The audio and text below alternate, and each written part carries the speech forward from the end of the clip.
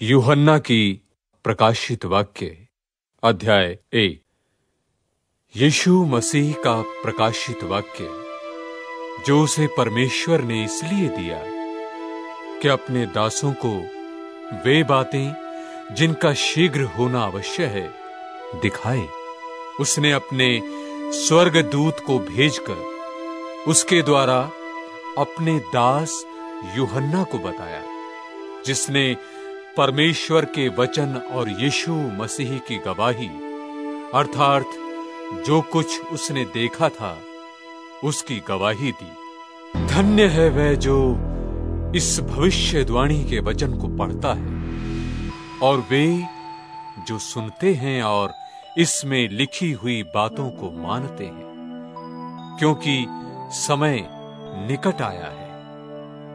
योहन्ना की ओर से आसिया की सात कलिसियाओं के नाम, उसकी ओर से जो है, और जो था, और जो आने वाला है, और उन सात आत्माओं की ओर से जो उसके सिंहासन के सामने है।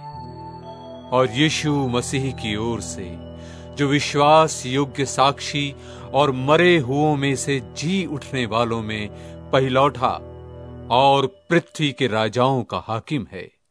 तुम्हें अनुग्रह और शांति मिलती रहे, जो हमसे प्रेम रखता है, और जिसने अपने लोहू के द्वारा हमें पापों से छुड़ाया है, और हमें एक राज्य और अपने पिता परमेश्वर के लिए याजक भी बना दिया।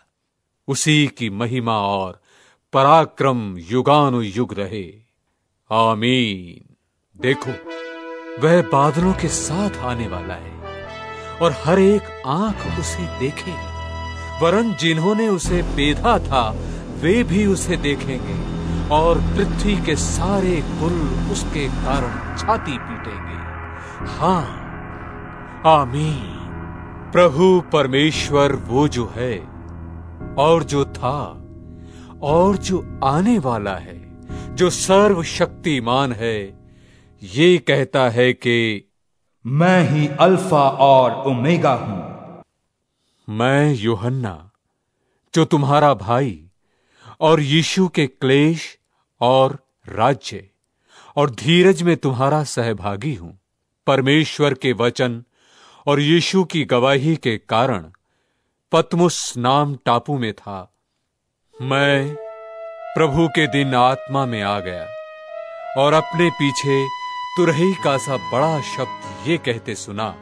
जो कुछ तू देखता है उसे पुस्तक में लिखकर सातों कलीसियाओं के पास भेज दे। अर्थात इफिसुस और समुरना और पिरगमुन और थुआतीरा और सरदीस और फिलदिल्फिया और लौदीकिया के पास। और मैंने उसे जो मुझसे बोल रहा था देखने के लिए अपना मुँह फेरा और पीछे घूमकर मैंने सोने की सात दीवटें देखी और उन दीवटों के बीच में मनुष्य के पुत्र सरीखे एक पुरुष को देखा, जो पाँव तक का वस्त्र पहने और छाती पर सुनैला पटुका बांधे हुए था। उसके सिर और बाल श्वेत, ऊन, वरन पाले के से उज्जवल थे और उसकी आँखें आग की ज्वाला की नाई थी। और उसके पाँव उत्तम पीतल के समान थे जो मानो भट्टी में तपाए गए हो। और उसका शब्द बहुत जल के शब्द की नाई था। और वो अपने दाहिने हाथ में सात तारे लिए हुए था। और उसके मुख से जोखी दोधारी तलवार निकलती और उसका मुँह ऐसा प्रज्वलित था जैसा सूर्य कड़ी धूप के समय चमकता है। जब मैंने उसे देखा तो उसके पैरों पर मुर्दा सा गिर पड़ा और उसने मुझ पर अपना दाहिना हाथ रखकर यह कहा कि, मत डर। मैं प्रथम और अंतिम और जीवता हूँ। मैं मर गया था और अब देख मैं युगानुयुग जीवता हूँ और मृत्यु और अधुलोक की कुंजियाँ मेरे ही पास हैं। इसलिए जो बातें तूने देखी हैं और जो बातें हो रही हैं और जो इसके बाद होने वाली हैं, उन सबको लिख ले। अर्थात उन सात तारों का भेद जिन्हें तूने मेरे दहिने हाथ में देखा था, और उन सात सोने की दीवटों का भेद, वे सात तारे, सातों कलिसियाओं के दूत हैं, और वे सात दीवट, सात कलीसियाएँ हैं।